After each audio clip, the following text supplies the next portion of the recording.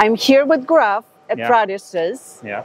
and I'm going to ask you, just like I asked many exhibitors, Yeah. what are your takeaways from Fyuz? Okay. So, thanks. Primarily, there are three takeaways from here.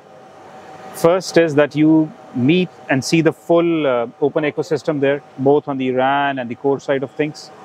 You meet all, you see all the newer innovations there. Everybody is out there with what they are doing next, and you see where the market is going.